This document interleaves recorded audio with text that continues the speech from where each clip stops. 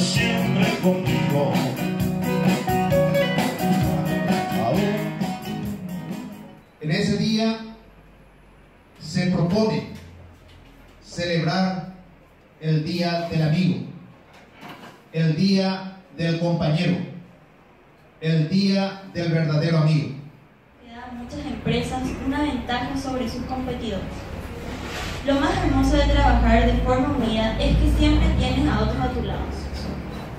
¿cierto? O sea, estamos libres, estamos libres para estar juntos, estamos libres para fomentar lo que es la amistad. La amistad es algo que reluce sobre todo como un fósforo en la oscuridad. Yo preciso mi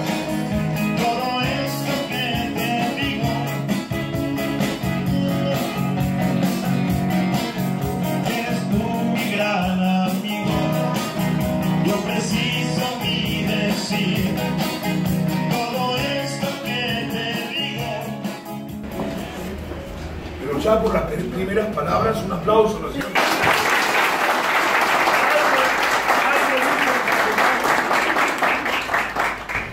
Zuallererst möchte ich Grüße von meinem Mann ausrichten, der auf der Estancia geblieben ist, um unaufschiebbare Arbeiten zu erledigen. Es freut mich sehr, diesen besonderen Tag der Freundschaft mit euch allen zu verbringen, besonders weil ich die Herzlichkeit von euch allen spüren kann. Umso mehr ist es von uns geschätzt, Por eso valoramos muchísimo dass auch von euch allen, wenn die Aufgabe es erfordert, que todos ustedes, cuando es necesario, zusätzlicher Einsatz nahezu Tag und Nacht gebracht wird. están di- disponibles casi, tengo que decir que muy raro que señora, casi día y noche.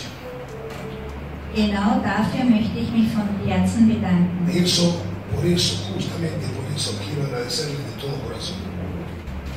Gemeinsam werden wir vielleicht den schönsten Platz in Paraguay erschaffen Quizás nosotros estemos en condiciones de hacer el lugar más lindo de Paraguay. und dadurch Geschichte in Paraguay Y schreiben. con eso vamos a escribir historia. Ich wünsche uns allen ein schönes Fest und einen schönen Freundschaftstag. Deseo a todos y a cada uno de ustedes que tengamos juntos un hermoso día de la amistad. Y eso es lo que deseo en nombre de mi esposo también. Gracias. Muchas gracias.